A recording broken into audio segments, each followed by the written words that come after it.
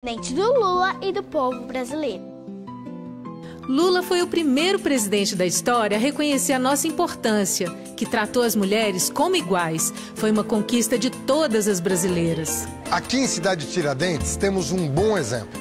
Com Lula, as mulheres conquistaram seu espaço. Foram elas mesmas que construíram, receberam as suas casas e hoje administram o condomínio Minha Casa Minha Vida. Eu pintei, eu passei massa corrida. Cada bloco que eu carreguei, nós participamos dessa construção. Então vocês construíram a casa e ficaram com a chave.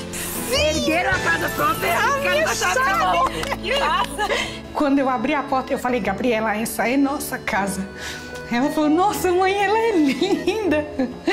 De todas as casas que a gente já morou, essa é a melhor. Essa foto é o que vai ficar registrado para eles o que, o, o que foi construir isso daqui. E eu só consegui porque o Lula abriu essa porta. O Minha Casa Minha Vida é um programa do Lula. É esse Brasil de Lula que vamos trazer de volta. Um tempo de respeito em que milhões de brasileiras tiveram seus direitos reconhecidos, melhoraram de vida e pela primeira vez tiveram a oportunidade de conquistar a cidadania. Conquistas. Nos programas sociais, a mulher sempre foi considerada a chefe da família. A casa própria no nome da mulher. A renda da família na mão da mulher. Leis para proteger a mulher. Crédito para a mulher do cão. Direitos para as trabalhadoras domésticas. Essa é a nossa expectativa com você. Porque sempre é bom melhorar, né? Nós vamos tentar fazer sempre melhor, né? Aprendemos, né? Vamos fazer melhor. Hoje, as mulheres estão mobilizadas para lutar contra a violência masculina, a precarização do trabalho e a desigualdade salarial. Não é justo que uma mulher ganhe menos que um homem exercendo a mesma função. Nós podemos nos unir às mulheres e participar da construção de um mundo melhor, sem opressão, um mundo sem estupros, sem assédios, sem maus tratos, sem desigualdades e com muito amor e respeito. É hora de sair pra rua, de cabeça erguida e ganhar essa eleição. Nós vamos ganhar essa eleição. Olha lá, uma ideia ninguém pode aprisionar. Um sonho cada vez mais livre. Acesa a esperança vive. Haddad é Lula lá. Chama! Boa noite, o programa Brasil Feliz de Novo está no ar. Boa noite, meus amigos, boa noite, minhas amigas. Quem está hoje aqui com a gente é a Ana Estela Haddad, professora livre docente da USP, pesquisadora e gestora de políticas públicas e casada com Haddad há 30 anos. Boa noite, Ana. Oi, Nadi, boa noite. Oi, Pedro, boa noite. Então, Ana, você e o Haddad no governo Lula criaram juntos o ProUni. Conta pra gente como foi um pouco da sua parceria de trabalho com ele. Então, naquela época, em, quando começou o governo Lula, em 2003, eh, eu trabalhava no Ministério da Educação, nesse período, e ele trabalhava no Ministério do Planejamento com o ministro Guido Mantega. A gente acha que educação é uma coisa muito importante né, para todo mundo e para o país. Né? Então, a partir de, de, de várias análises que, que eu estava fazendo e baseado numa ideia que ele já tinha tido quando trabalhava na Prefeitura de São Paulo, é, que era trocar um imposto municipal por bolsas de estudo com as instituições de ensino, me veio a ideia de, no governo federal, quem sabe trocar impostos é, federais por é, bolsas de estudos. Mas isso é, isso é muito pouco perto de tudo que depois aconteceu e jamais teria saído do papel se não fosse o Fernando, se não fosse o ministro Tarso Genro e se não fosse o presidente Lula. A gente vai mostrar agora uma história que é o exemplo da transformação que o ProUni causa na vida das pessoas que são beneficiadas pelo programa. Bom, eu me chamo Raiane Andrade, sou advogada, curso mestrado em Direito na UFRN, mas a minha história tem tudo a ver com a história do PT. É, eu entrei na universidade em Mossoró, na UFESA, sou filha de trabalhadores, minha mãe é professora, meu pai é soldador, sou do interior de Moeiro do, no... Moeiro do Norte e a partir da Universidade Federal Rural do Semiárido, que abriu as portas para pessoas como eu terem a oportunidade de ser gente na vida. E isso foi feito a partir de uma política, da parte, a partir dos dos Trabalhadores. Você tá vendo aí, né? Olha só. Quando a comunidade, quando, quando a sociedade ajuda, né, o talento aparece. Né? O talento você já tinha, mas faltava uma oportunidade. Que bom. Eu sou do IFRN. Você é professor agora? fui aprovada no concurso, estou esperando ser Tá esperando ser chamada? Tá feliz? Muito. Agora me diz uma coisa, teus pais têm diploma não? É, minha mãe é professora é, do ensino básico e meu pai é soldador. E a história deles é bem interessante porque meu pai construiu todas as hidrelétricas do governo do PT. E Ele é soldador. É soldador. E ela é professora de educação Da básica. educação básica. De escola pública? Escola pública. A gente começou, é, Haddad, é, minha, minha mãe era professora, mas às vezes a gente tinha que tinha uma hortinha em casa, vendia fruta, vendia banana, e eu pequena fazia isso. E a oportunidade que o governo do PT deu, e especialmente na sua gestão através da educação, foi o que me fez chegar aqui hoje. E desculpa se estou muito emocionada. Uma alegria te ver assim. Muito né? axé, muito Eu não vejo por casa, pros pais. Devem estar cheios de orgulho de você, né? Vendi a frutinha ali para ajudar a família, agora é professora da. Pô, é muita coisa, hein? Coisa boa. Mas o mérito é teu, né? É nosso. A história da Rayane prova que o ProUni pode revolucionar a vida de uma pessoa. Agora eu te pergunto: o fato de você ser professora e trabalhar com educação te ajudou a entender que era preciso fazer mais pela educação do Brasil? Eu acho que sim. Eu acho que a, gente é muito influenciado, assim como quando a gente é criança, a gente é influenciado pelo meio, pelo ambiente, pela família, pelas pessoas com quem a gente convive. É, as escolhas profissionais que a gente faz, de certa maneira, também vão influenciar ah, ao longo da vida a forma como a gente vê as coisas, né? Eu acho que sim, eu acho que isso teve uma influência. Você trabalhou no governo Lula. Como é que foi trabalhar com o ex-presidente Lula? Olha, foi a experiência mais transformadora da minha vida. Trabalhar com políticas públicas e trabalhar com um governo e num projeto de país que busca uh, reduzir desigualdades sociais, que busca a inclusão social, que busca o desenvolvimento com eh, pensando também no desenvolvimento da, da, da população, desenvolvimento econômico, mas aliado com, a, com o desenvolvimento social, foi para mim uma experiência muito transformadora, por verificar o quanto as políticas públicas têm potência, né? E o quanto elas podem ser transformadoras na vida das pessoas. E quando ela transforma a vida das pessoas, ela transforma a nossa vida na sociedade, ela transforma o nosso país, né? Ela muda para melhor. Você se lembra de alguma passagem, algum momento específico que tenha sido marcante para você nessa nesse período de trabalho com o ex-presidente Lula? Com certeza, a minha primeira experiência marcante, muito marcante, é, foi ver o ProUni se tornar realidade, né? Quando ele é, tomou a decisão e implementou primeiro por medida provisória, criou o fato consumado e depois é que a lei foi promulgada, né? Isso e, e, e como isso depois foi foi sendo transformador, né? E eu me lembro que quando formou-se a primeira turma do ProUni em medicina, os primeiros médicos do ProUni, nós fizemos, eu estava já no Ministério da Saúde, o Fernando era ministro da Educação, e nós fizemos, organizamos um primeiro encontro dos 500 médicos formados pelo ProUni com o presidente Lula. Foram 250 ou 300 na época que puderam comparecer. E foi um, um, um, dia lindo, né? de, muito, de muita emoção, foi uma experiência, foi um dia muito bonito. Você acompanha sempre o funcionamento da política por dentro, tanto no que diz respeito à forma de administrar, quanto ao papel institucional. Como é que você vê o papel da mulher na política?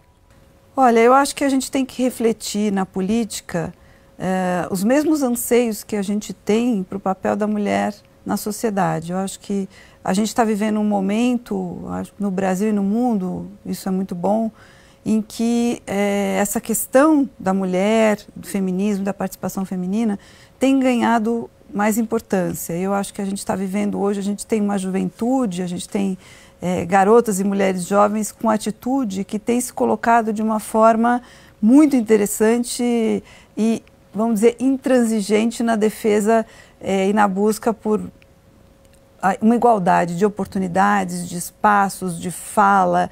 E na política da mesma forma. Eu acho que a presença da mulher na política contribui muito. E a gente já tem aí vários exemplos e até estudos né, mostrando isso. Uhum. Ainda dentro desse assunto, eu gostaria de saber, queria que você falasse um pouquinho do papel das políticas sociais do governo Lula e Dilma para o empoderamento feminino, para esse empoderamento que você falou agora? Qual a importância que tem esses programas sociais? Em especial Bolsa Família, o Minha Casa Minha Vida. Exato. Eu, eu, quando você perguntou, eu estava pensando justamente nesses dois programas. Né? Eu acho que a decisão que foi tomada pelo governo do presidente Lula e depois pela presidenta Dilma, no caso do Bolsa Família e do Minha Casa Minha Vida, de que o benefício ele vem em nome da mulher, né? foi um aspecto muito importante para o empoderamento feminino, né? porque a gente sabe que em muitas situações dentro ainda de uma sociedade em que está presente o, o, machismo ou que às vezes você tem situações ainda muito frequentes de violência doméstica, a mulher ela às vezes se sente numa posição é, de desvantagem, a autoestima dela está abalada e ela às vezes compactua com uma situação difícil por não ter, às vezes, uma autonomia financeira, ou por pensar nos filhos, por pensar que os filhos precisam ser alimentados, precisam precisa ter um teto, né? Então, na medida em que você dá à mulher né, o poder de ter o benefício do Bolsa Família e, e a chave, né, e, e a propriedade do, do, do, imóvel, você coloca ela numa situação de poder uh, construir, seja reconstruir a relação ou construir a relação numa, numa situação de igualdade, mas também é, de poder dar para sua família, para os seus filhos, uma, uma situação de segurança, né? E, e que não, não, isso não implique para ela um, algum tipo de concessão que não é justa, né? A gente vai ver agora um depoimento do presidente Lula sobre como Bolsa Família, esse projeto tão importante, foi idealizado para provocar uma mudança social uma mãe que recebe o Bolsa Família, ela tem a obrigação de colocar os filhos na escola. Se eles não frequentarem a escola, ela perde o Bolsa Família. A outra condicionante é dar vacina nas crianças. E a outra condicionante é que se ela estiver grávida, ela tem que fazer os exames necessários. Nós fomos muito criticados na época que nós colocamos as condicionantes, porque a gente não queria apenas dar uma ajuda financeira para dar o primeiro passo na vida das pessoas. A gente queria também obrigar as pessoas a cuidarem da educação e a cuidarem da saúde. Essa foi uma coisa extremamente importante que nós fizemos. Eu queria que a gente mudasse um pouco, mas ainda tratando da assistência às pessoas. Quando você estava no governo Lula, é, foi criado o programa Brasil Sorridente, você é dentista, odontopediatra. Uhum. Queria que você explicasse um pouco qual é a importância desse programa para as pessoas. Né? Olha, Brasil Sorridente, que foi né, uma, uma ideia e uma determinação até que o presidente Lula deu, ele costuma dizer né, que a saúde começa pela boca. Eu acho que ele podia até ser considerado o padrinho da odontologia, porque ele, não sendo dentista, dá uma importância muito grande né, para a questão da saúde bucal.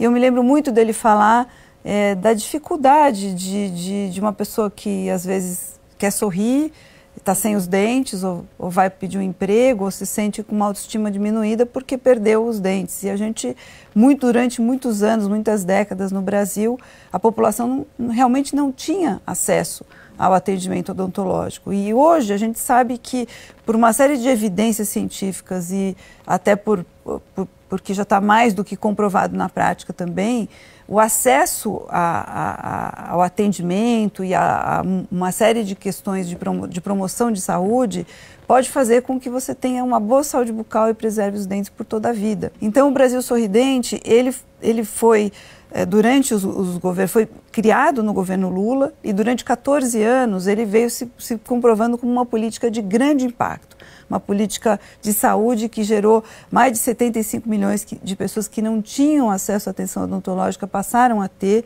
em todas as faixas etárias a gente teve impacto positivo com o Brasil Sorridente. Então, nesse, nesse ponto, eu acho que o Brasil Sorridente é uma política muito importante. Ana, vocês foram escolhidos por Lula para fazer o Brasil feliz de novo. Conta pra gente como foi receber essa notícia. A gente está vivendo é, no Brasil um momento muito difícil né, e muito delicado. Né? Eu acho que é, a gente teve a, a, chance de conhecer um Brasil que deu certo, né, que trouxe felicidade, que resgatou a autoestima do povo, que colocou o Brasil numa posição de destaque e liderança no mundo é, durante o governo do presidente Lula e parte do governo da presidenta Dilma. Né? Depois da reeleição, começou uma crise, uma instabilidade né? muito provocada também pelo, pelo não reconhecimento dos resultados eleitorais. Né? E de lá para cá, esses dois últimos anos que a gente é, tem experienciado essa nova situação com um governo que tomou o poder, mas que não foi eleito legitimamente pelo povo, a gente está vendo uma série de conquistas que a população teve é, serem colocadas em risco e até se perderem. Né? O povo está sentindo na pele e a gente começa a perceber isso pelas manifestações que estão acontecendo. Eu acho que a escolha que o presidente Lula fez para que o Fernando assumisse essa essa tarefa e eu tenho certeza que ele não está sozinho, ele está muito bem acompanhado e respaldado pelo Partido dos Trabalhadores e pela coligação. É um grande desafio, é uma honra, né, uma honra muito grande, eu acho que é uma responsabilidade muito grande e a gente precisa é, saber disso, que é uma missão, que envolve também, por que não dizer, um, um sacrifício pessoal, mas que eu acho que a causa é, é, ela, é, ela é grande e a gente espera está junto, junto com todos, todos esses, todo esse, esse campo né, da político que apoia o presidente Lula e com, e com o povo, né, e fazer com que a vontade do povo é que prevaleça. A gente está chegando ao fim, você falou um pouco agora da luta que vai ser né, esse período, uhum. e eu queria então pedir que você fizesse considerações finais, explicando para as pessoas por que e como que o Brasil vai voltar a ser feliz de novo. O Brasil que nós conhecemos durante o governo Lula foi um Brasil que era mais feliz, um Brasil com mais oportunidades para homens e mulheres, um Brasil mais inclusivo para todos, um Brasil que dava oportunidades, que deu muitas oportunidades de educação, em que a saúde melhorou e que até a nossa posição eh, como país eh, internacionalmente melhorou muito. Eu sonho que a gente possa retomar esse projeto de país, que a gente possa ser um Brasil feliz de novo. Para isso, vamos votar 13. E hoje a gente vai ficando por aqui. Eu queria agradecer a presença da Ana Estela Haddad. Muito prazer te conhecer, conhecer sua trajetória e tudo que você já fez também pelo nosso país. Boa noite. Obrigado, Ana. O Brasil Feliz de Novo termina aqui. Boa noite, Pedro. Boa noite, Nádia. Muito obrigada pela entrevista e um abraço também para todo mundo que está nos assistindo. Boa noite. Olha lá, uma ideia ninguém pode aprisionar. Um sonho cada vez mais livre. Acesa a esperança vive. Haddad é Lula lá. Chama! Queridas companheiras e companheiros, Como vocês sabem, fizeram de tudo para tirar Lula do jogo. ignoraram a ONU e a vontade do povo. Mas Lula pediu e a gente vai seguir lutando pelo Brasil. Por isso, gostaria muito de pedir a sua ajuda. Doe para a nossa campanha. Assim, você ajuda a fazer o Brasil feliz de novo. Não importa o valor, o que importa é o seu apoio. E se você não puder doar, divulgue a nossa vaquinha nas redes sociais. Fale com os amigos, converse nas ruas. Mande um link nos grupos do WhatsApp. Toda ajuda será muito bem-vinda. Um, grande, grande abraço, abraço, Vote vote 13.